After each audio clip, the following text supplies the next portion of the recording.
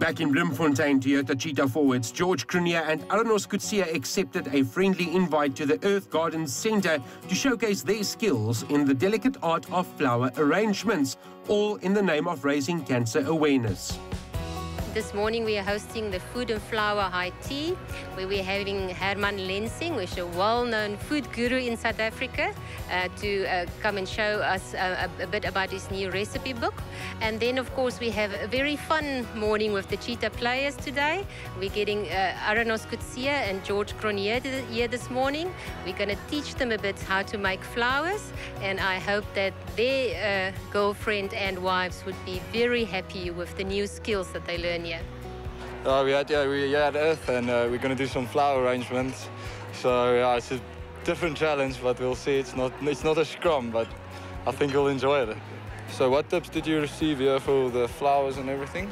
Uh, for the for the tips I received now, for the you have to have a feminine side, and you have to lean the flowers in an angle. Mustn't be straight up, so you have to have it on an angle and a tight grip. And they said of you have to try to pick a different theme, so or it's romantic, or you go for a happy theme or something like that. So, and we had some some lessons on how which flower to put where. So we see how it goes. So today we had a beautiful uh, fundraiser in, in, aid of cancer. I mean, it's always very important to support cancer. It's, it's, something that touches all of our lives. And I believe that some of the players from the Cheetahs are now going to learn how to make flowers. Interesting. I think them making flowers will be as much as me playing rugby. So I think that's a very good comparison. As the two players rigorously went on with their floral arrangements, we caught up with some of the ladies in the crowd to hear their thoughts on how they were performing. Ag, dis lekker. Ek dink ons almal mis rugby. Dink dit is 'n Suid-Afrikaanse ding. So dit was lekker om 'n bietjie spelers in persoon te sien en 'n bietjie op 'n ander forum as net as op die rugbyveld.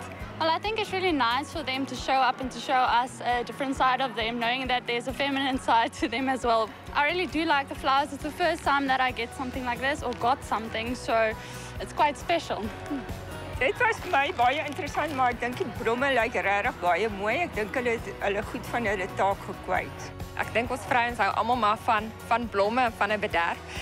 So ek dink hulle attitude was was lekker en dit was lekker om te sien dat mans ook in touch is met hulle feminine side om hulle die meisies en die vrouens se lewe te bederf.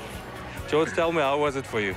No, it was challenging and um, I learned a lot and it was it was quite fun. I didn't think I would enjoy that eat that much, but yeah, it was nice. What was the difficult part for you? When I had to tie the the, the bow and uh, yeah, the flowers kept, kept moving and the yeah, I couldn't tie it. Uh, luckily there was someone to help and uh, could, we go through it, eh? And tell me, what is your favorite flower of the evening? It must be the sunflower because uh, I know them. It's from the farm and everything. So. A little bit sunshine in your life. Yeah, sometimes you need it, eh? wow!